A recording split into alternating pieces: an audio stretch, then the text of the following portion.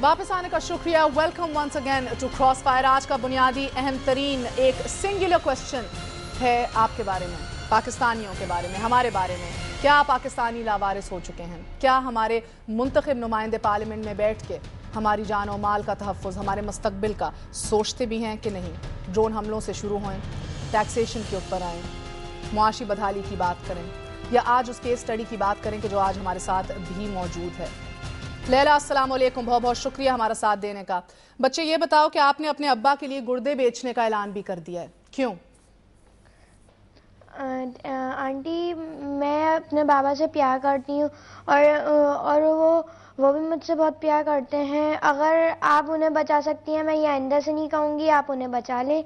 आप जरदारी अंकल वज़ीर आज़म से कहें, वो हमारे बाबा को बचा लें, मैं गुर्दे नहीं बेचूँगी।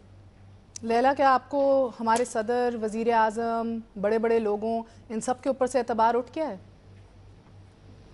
मुझे तो ऐसा नहीं लगता कि वो मेरे बाबा को छुड़वाएँगे। क्यों नहीं लगता लैला? अब तो नौ महीने हो गए अगर उन्हें मुझे ऐसा लगता तो वो अभी पहले से छुड़वा देते उन्हें। लैला आपकी किस आपके फैमिली ने आपके चाचू ने किस किस से बात की है इस हवाले से? पता है आपको? मैंने तो सबसे बात की है अपने बाबा के रिहाई के लिए। कुछ मालूम है किस किस से किसी ने कुछ कहा है कि रिहा कर लेंगे पैसे जमा कर लेंगे कुछ कहा है किसी ने? जी अंसार बंडी ने और गवर्नर ने हमें बहुत वो है होप दिया है और इसके अलावा और कोई काम नहीं कर रहा। और दिन कितने रह गए हैं लैला? अब तो अब तो चार दिन रह गए हैं उनकी डेडलाइन के लिए। लैला मेरे साथ ही रहना। रोहेल असगर साहब बहुत बहुत शुक्रिया हमारा साथ देने का। गोदल साहब, आपका भी बहुत बहुत शुक्रिया। कायरा साहब की आज शदीद ज़रूरत थी, वो आज थे नहीं। पार्लियामेंट के हवाले से बात करनी थी। एक डिस्टिंक्शन भी ड्रॉ करनी थी हुकूमत और पार्लियामेंट के दरमियान। रोहेल असगर साहब मुझे लगता था कि शायद हम अमरीका से डरते हैं। हम सोमालिया से भी डरते हैं, सर। बिस्मिल्लाह महर, बल, मैंने आपका जो शुरू में आपने किया तो बहुत सारे आपने सवाल डाल दिए हैं। इस बच्ची की बात सुन रहा था। ये बच्ची पाकिस्तानी है।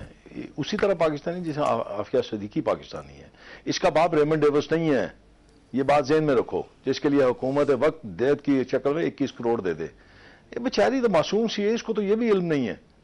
ये किसके आगे मतलब अपना सवाल रख रही है? उन लोगों के आगे जो अपने खोल में गुम है।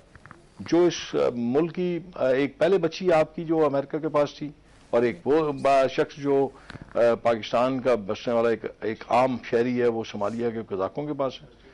और ये मतलब इसका सवाल मैं सिर्फ़ बजीत एक बाप मैं ये कह सकता हूँ कि इस बच्ची का दुख वही समझ सकता है जो इस दुख से या इस तकलीफ़ को समझ सकता हो।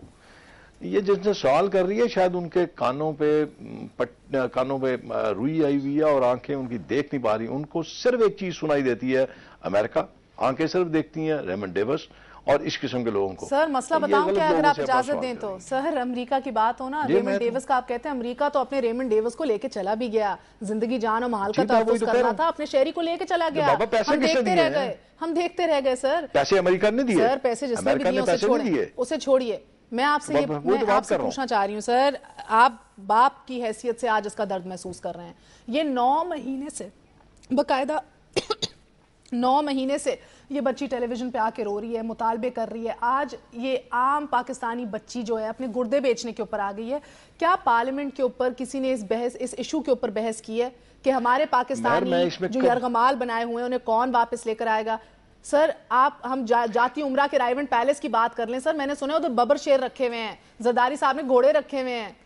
इस बच्ची को यतीम होने से हम किस तरह बचा सकते हैं? और आज अगर पार्लियामेंट की जानब देखें हुकूमत की जानब देखें तो अपने आप को बेबस या लावारिस ना समझें तो क्या समझें? मैं इसीलिए आपको कह रहा हूँ मैं इस इस बात से अपने आप को कोई लदा नहीं कर रहा। इस गुना में मैं भी शामिल हूँ। इस गुनागार हूँ मैं इसका। और मैं भी उसी हिस्सा हूँ जो बेहसी पार्लियामेंट या बेहसी हुकूमत दिखा रही है ये उसी का मैं हिस्सा हूँ। मैं इसके साथ मतलब मुझे नहीं समझ आ रही कि ये बेचारी बच्ची जो मासूम सी जिसकी अभी मतलब बाप के साथ अच्छा वक्त गुजारने के दिन थे उसकी अटकेलियाँ दिखाने के दिन थे वो अपने बाप के लिए इस तरह टीवी पे आके अपनी रुएदाद सुना रही है। काश आज के इस, इस प्रोग्राम के बाद हुकूमत वक्त की आँखें खुलें और वो इसके लिए अपने आप को। जो वो एक शख्स जो हुकूमत ने एक रखा हुआ है, असल मुसीबत ये इनकी है कि इनको सिर्फ़ अपने इकतदार को बिछाने की चाहिए। और और मैं, आप इस बातों को, मैं सामने दें अब मतलब इस बच्ची का तो आप मामला आपकी तरह आपकी तरह आप बिल्कुल बजा फरमा रही हैं कि पार्लियामेंट में शायद इसके लिए आवाज़ नहीं उठाई गई, लेकिन जिसके लिए उठाई गई, उसके लिए क्या हुआ?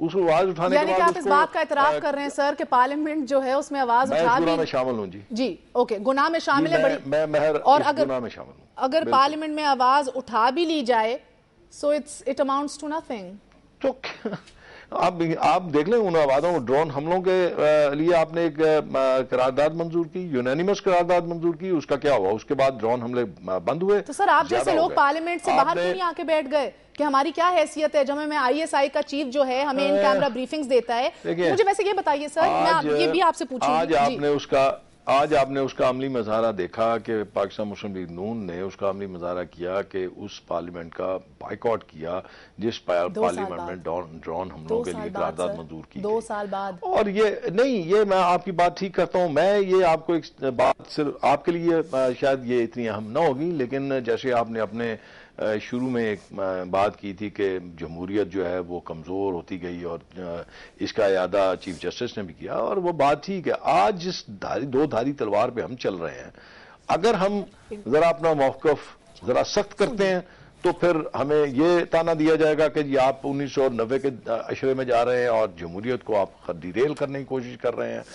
अब आप देखें, हमारे लिए इंतहाई मुश्किल है। कि हम सोच समझ के कोई कदम उठाते हैं कि कहीं ये सारा कुछ ले दे के हमारे खाते में डाल दें क्योंकि सर यानी कि हरे को अपनी पड़ी हुई है हमारे खाते में। ना जाए मुझे इजाज़त दीजिए एक सेकंड इजाज़त दीजिए शेख साहब मुझे इजाज़त दीजिए।